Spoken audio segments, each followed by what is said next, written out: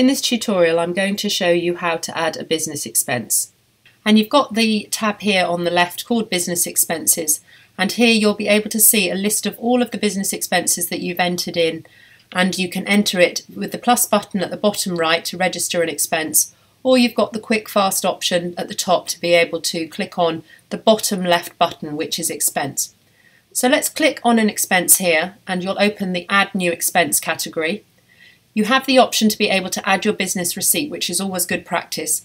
So if you have a PDF then it's already on your computer or you want to snap and take a photo of your receipt, if you click on this button here you'll be able to upload it from your computer or take a photo directly from your phone. So clicking on the business receipt will load it into here.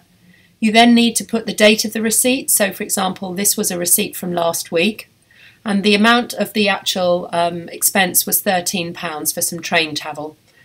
So we're going to put the description in here. So it was a train ticket. And then you've got an expense category which you can choose from the bottom here under travel.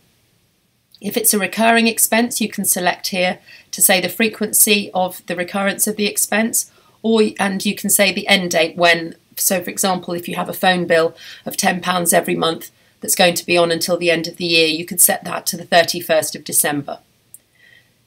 We're going to switch that off for now. And then you list here how you actually paid for the expense. So, for example, I put that on a debit card. So you select the debit card and press the save and that expense will then be saved under the 15th of January for £13 and that was created successfully and that's your confirmation message there. If you go back into the expenses screen here, the business expenses, you can go back in to see the 15th of January, our train ticket here.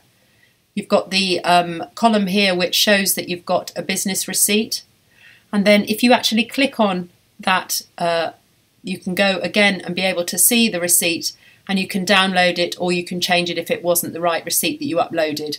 Or you can go in and edit the receipt if you remember that you didn't pay by debit card but it in fact was a credit card or something and then you would just update it here.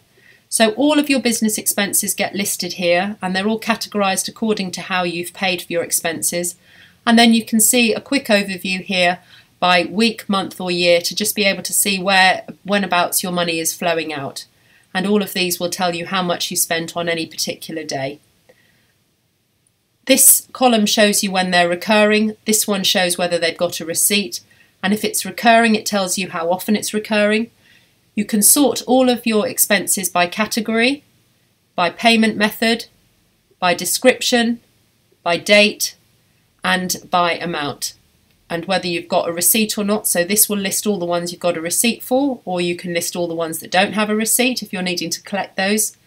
And then again, you can have a look to see any that are recurring and those that aren't recurring. And again, everything is exportable through this button at the top. So you choose your dates and you select your method, whether you want it to be Excel, PDF or CSV. And by pressing export, it will download it to your computer for your records.